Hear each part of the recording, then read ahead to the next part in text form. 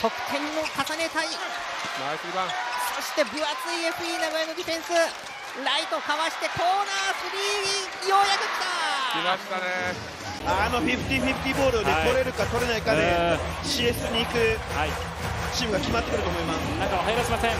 ミスマッチになっているがクレモンスリーポイント。これが入る高い高位がエテリングを捉えましたもうショートコーナー預けてからパスを回して井上のスリーポイントエンドワン。これで同点。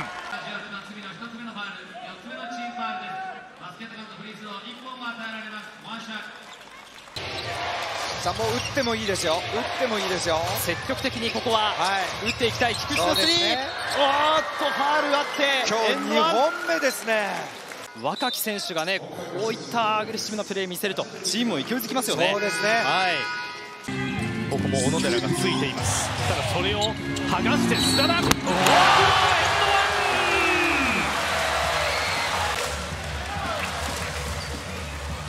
ここですね。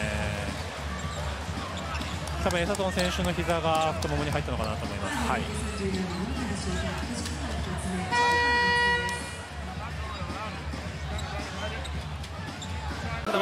ショットを射抜きます。時間がある広島。メイヨタフショット。射抜いたこちらも決めてきた。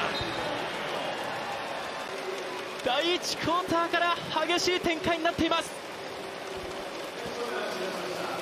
野本がスクリーンをセットして八村。ハンドオフ菅原。そしてもう一度八村へ。八村パスアウト涙とのスリーだ。きた決めましたね。乗っています涙とはい。来たなというようなねシュートでしたよね、はい、笑顔が見えました並里です、レフトハンドのレイアップもあってそしてこのタフショットのスリーも決めきりました。いやーここもねよく打ち切りましたよ、またこれで12点差までは来ました。コティ・クラーク。やられたらやり返すってこのことですね。フックを使うイ・ヒョンジュンまだ持っているが難しい体勢のスリーポイント。いいですね。ただね終始述べてますけどもやっぱりターンオーバー、はい。まあ、このねミスがどうしても増えてくるっていうとライト。この位置から狙ってくる。素晴らしい軌道をい選びました。れ追いやったっていうねところがまず一つ成功した、はい。まあ、一つのきっかけになりましたよね、そしてこの岡田ライトのスリーポイントご覧いただいてますけれども、セットしての形のディフェンスそれがサンロッカーつぶやですが決めてきた藤井のスリーポイント。1回転2回転喜びを表現しています。藤井です。ガルシアの前には西田雄大。ハレルソンが空いたスリー3本目。23歳のドサンコ島谷から。菊池菊池のスリーポイントおお決めた。素晴らしいですね。ファウルがあってエンドワン。シュートそうなんですよ。はい。特別指定選手なんですよね、ええ。中山のファールがありました。ツースリー。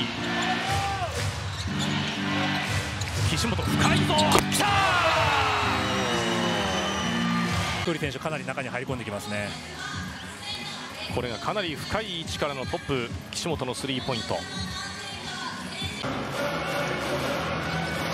安藤誓哉パスを選択する。津山のスリーポイント入れた。今のも安藤選手非常に冷静でしたね。